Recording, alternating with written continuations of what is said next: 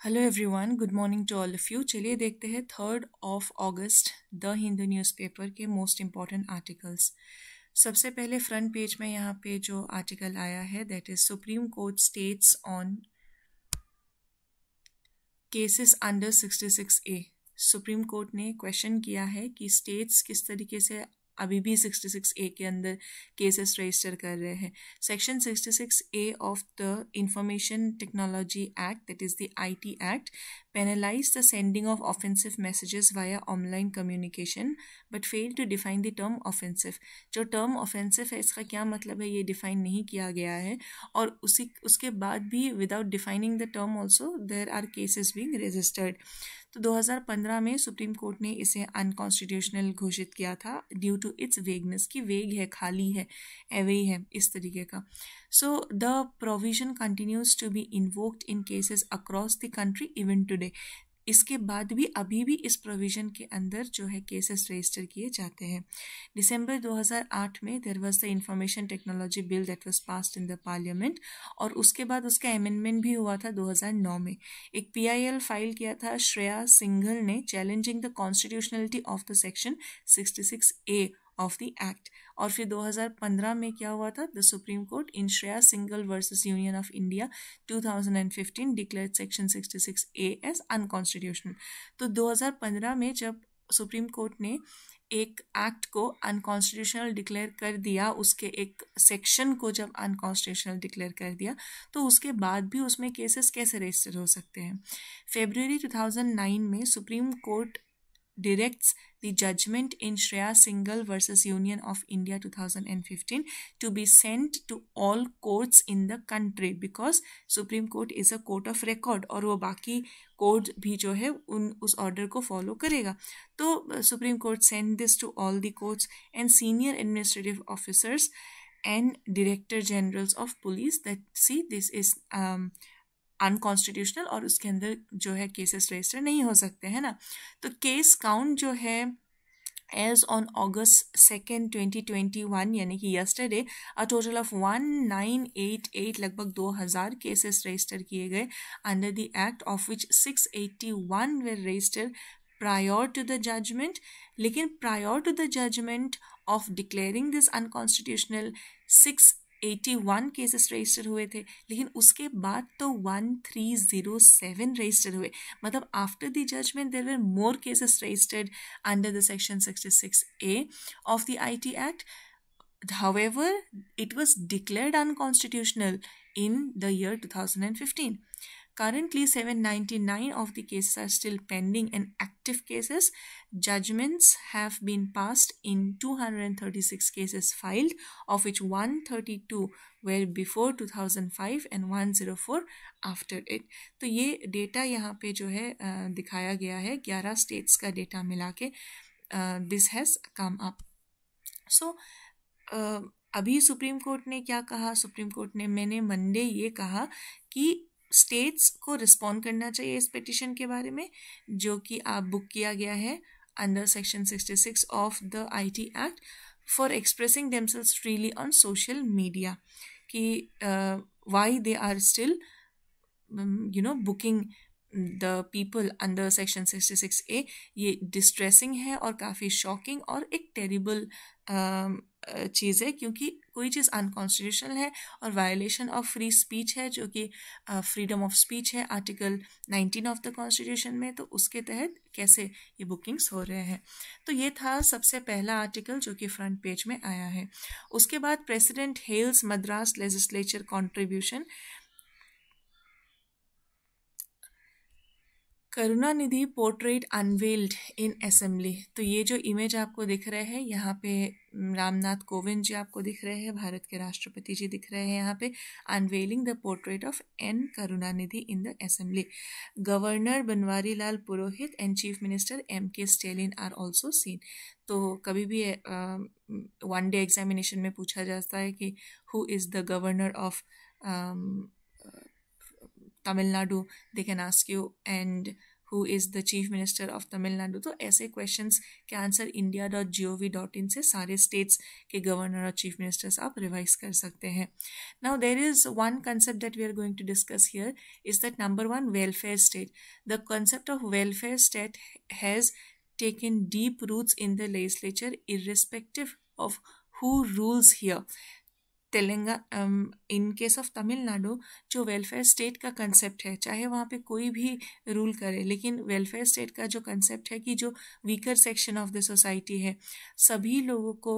देखने का, सभी लोगों को स्ट्रेंथन करने का डेमोक्रेसी के साथ साथ सभी लोगों को आगे लेके जाने का तो ये जो कंसेप्ट है, और मैं again I say in my own words that हे भगवान, कोई भूखा ना सोए ये जो कंसेप्ट है वेलफेयर स्टेट का जो कंसेप्ट है, सबको लेके चलने का, ये वहाँ पे नज़र आता है और ये वहाँ के लेजिस्लेचर में चाहे कोई भी रूल करे it has taken deep roots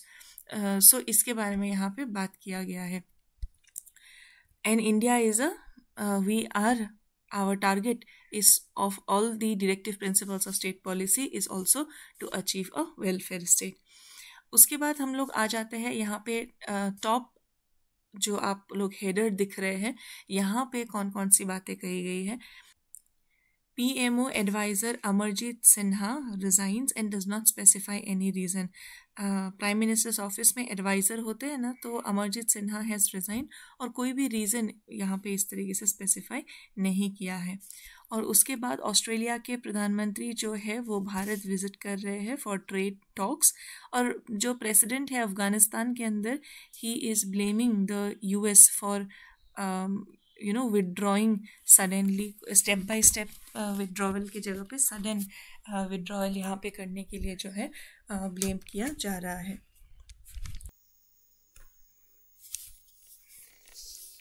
next यहाँ पे आप इस इमेज को देख पा रहे हैं। This image is of the Nagarjuna Sagar dam on Krishna river तो क्वेश्चन इस तरीके से कभी वन डे एग्जामिनेशन में पूछते हैं where is the Nagarjuna Sagar dam? So the Nagarjuna Sagar dam is on Krishna river why in news because जिस तरीके से स्टेट्स के बीच में कभी वाटर डिस्प्यूट्स होता है तो um, आंध्र प्रदेश ने यहाँ पे जो चीफ जस्टिस ऑफ़ इंडिया जो है N V Ramana he on Monday offer to send a water dispute case file by Andhra Pradesh against Telangana for mediation while saying in background of Assam Manipur border flare up that the people of the two states were brothers who should not even dream of doing harm to each other. कि भाई भाई है आंध्र प्रदेश और तेलंगाना के लोग और एक दूसरे को हार्म करने के बारे में सोचना भी नहीं चाहिए। Looking at what happen in north east mister Dave begin कि वहाँ पे do not think like that even in your dreams we all are brothers भाई भाई है। तो फिर वाटर स्टेट्स के बीच में ये इंटर स्टेट डिस्प्यूट्स आप कह सकते हो। और क्या यहाँ पे रिजोल्यूशन निकल गया? देखिए भाई भाई है है ना? एक स्टेट दूसरे स्टेट का भाई भाई है तो इस तरीके से नहीं लड़ना चाहिए। या फिर सोचो भी मत कि इस हद तक हम लोग जा सकते हैं और सभी लोग जो है अच्छे से यहाँ पे रहे। Okay the next page here is on editorials already हमने न्यूज़ में देखा था कि भले ही प्रोटेस्ट चल रहा है, पर Lok Sabha passes bill to amend insurance act it will allow government to bring down its stake in state own general insurance company तो जैसे एलआईसी के अंदर भी डिसइन्वेस्टमेंट न्यूज़ में था। उसी तरीके से भले ही अभी प्रोटेस्ट चल रहा है कि पैगसिस को लेके पैगसिस के बारे में अलग से मैं ऑलरेडी वीडियो बना चुकी हूँ। The bill that is regarding insurance general insurance business nationalisation amendment bill 2021 will allow the government to bring down its stake in state owned general insurance company and इस तरीके से क्या होगा, स्टेप बाय स्टेप कहिए this investment वो लोग यहाँ से कर लेंगे और आगे चल के हो सकता है इंश्योरेंस कंपनीज़ के अंदर प्राइवेटाइजेशन ही ज़्यादा देखने को मिले। So as per the statement of object and reason the propose amendment to the general insurance nationalism bill seek to remove the mandatory requirement of the central government holding not less than fifty one percent of the equity capital in a specified insure तो अभी तक जो है वो ये था कि fifty one percent कम से कम यहाँ पे गवर्नमेंट का स्टेक होल्डिंग होना पड़ेगा। तो इसका यह मतलब हुआ कि वो जो भी जनरल इंश्योरेंस बिज़नेस रहेगा uh, वो कहीं ना कहीं उसमें सेंट्रल गवर्नमेंट का एक एश्योरेंस रहता है और सेंट्रल गवर्नमेंट का एक होल्डिंग रहता है। लेकिन अभी ये जो minimum fifty one percent holding by central government is required ये इस चीज़ को अभी यहाँ से हटाया जा रहा है। इसी के लिए ये जो अमेंडमेंट है, इसी के लिए ये जो बिल है जो इंट्रोड्यूस किया जा रहा है the general insurance business nationalisation bill तो if the bill is passed then what is going to happen is this minimum 51% requirement will be removed right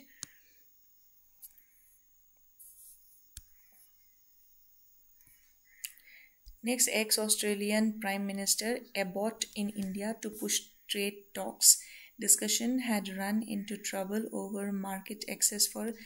Australian agricultural dairy products and tariff. देखिए Australia के अंदर भले ही बहुत ज़्यादा dairy production होता है पर वहाँ के लोग ज़्यादातर वीगन हैं। तो वो लोग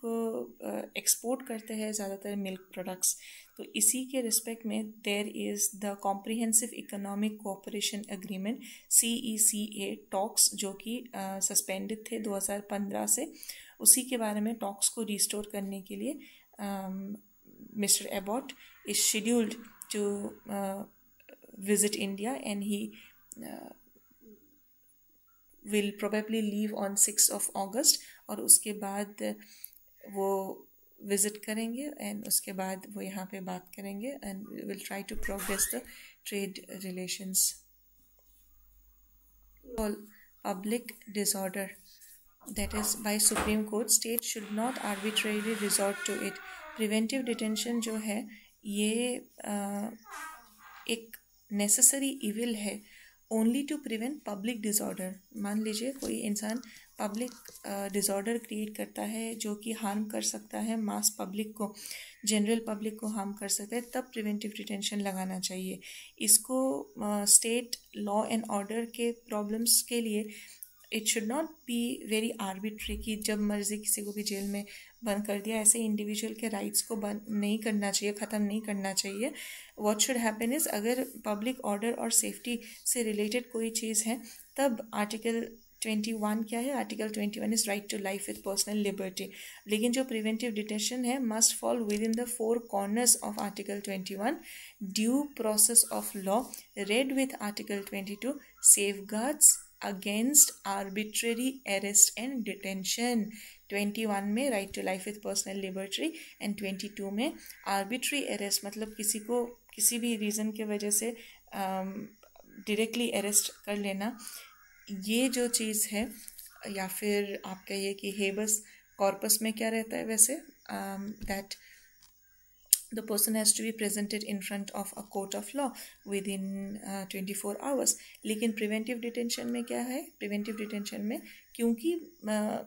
किसी एक क्रिमिनल एक्टिविटी को जनरली रोकने के लिए इसे किया गया है। तो इसीलिए उसको इंसिडेंट को होने से पहले ही उसको डिटेन किया। जैसे पता ये इंसान हर बार यहाँ पे आके चोरी कर लेता है। तो फिर इस इंसान को इस बार जब चोरी होने का चांस है तो उससे जस्ट पहले ही मैं एक आर्बिट सा एग्ज़ाम्पल दे रही हूँ। उसको पहले ही अरेस्ट कर लिया कि वो क्राइम हो ही ना, इसलिए उसको प्रिवेंट कर दिया। Like like that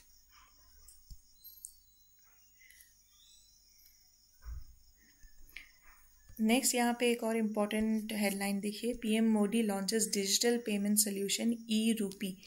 e rupee are U P I रूपी ठीक है? तो ई रूपी किन्होंने यहाँ पे लॉन्च किया? प्रधानमंत्री जी ने लॉन्च किया है ई रूपी ये a person and purpose specific cashless digital payment solution है। और ये वीडियो कॉन्फ्रेंस के ज़रिए यहाँ पे जो है लॉन्च किया गया है।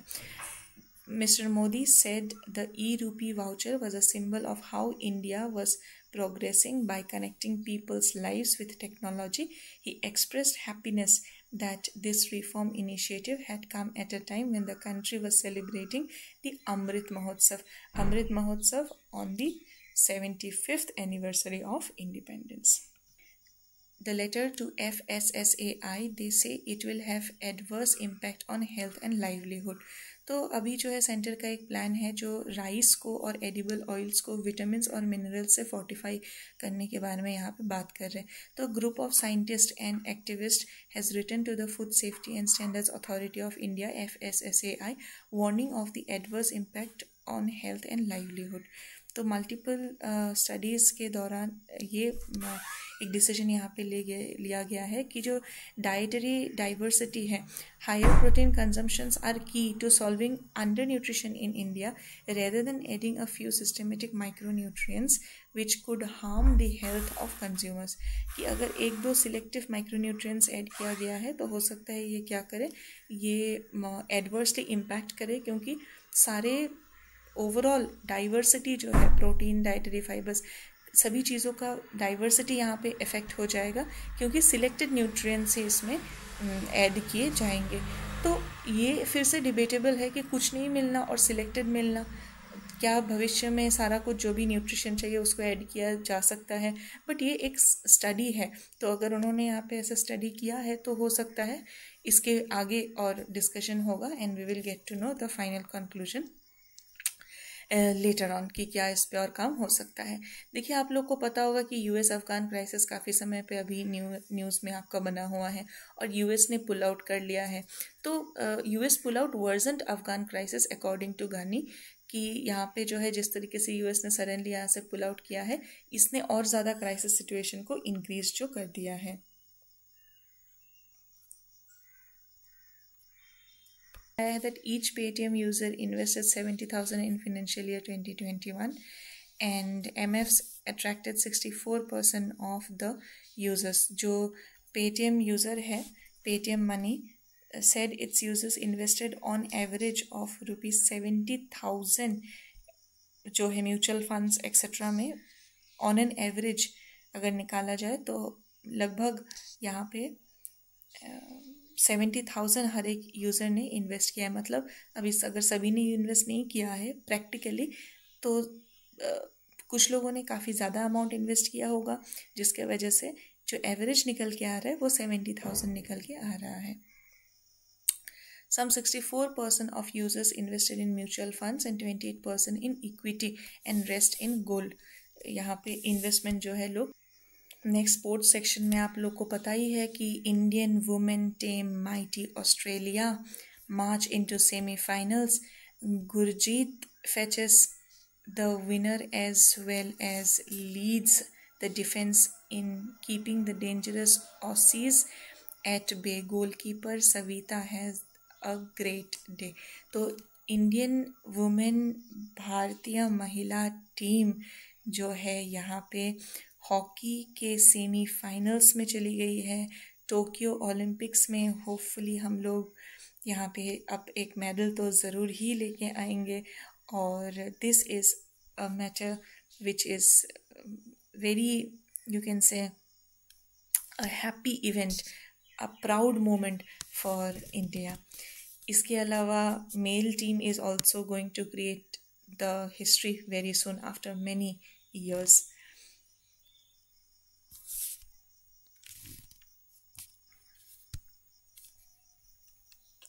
So this was the crux or the summary of the Hindu newspaper 3rd of August 2021. Generally, I do not record it in the form of videos. I upload it in the community tab. Community tab access के लिए आप लोग को channel को subscribe करना पड़ता है और उसके बाद डेली बेसिस में सुबह साढ़े चार बजे द हिंदू न्यूज़पेपर के मोस्ट इंपॉर्टेंट आर्टिकल्स आपको कम्युनिटी टैब में दिख जाएगा डेली बेसिस में मैं इसे यहाँ पे अपडेट करती हूँ तो मैं वीडियो डेली बेसिस में नहीं बनाती हूँ और कम्युनिटी टैब से सीधा पढ़ा जा सकता है सो वो मुझे लगता है और ज़्यादा टाइम सेविंग है और एक बहुत ही अच्छा ऑप्शन है तो आप लोग चैनल को सब्सक्राइब कर लीजिएगा ताकि आप कम्युनिटी टैब को एक्सेस कर पाए और वहाँ से द हिंदू न्यूज़पेपर सबसे पहले सुबह साढ़े चार बजे आप लोग एक्सेस कर पाए या फिर जब भी आप सुबह उठ जाए तो आप द न्यूज़ एक्सेस कर पाए।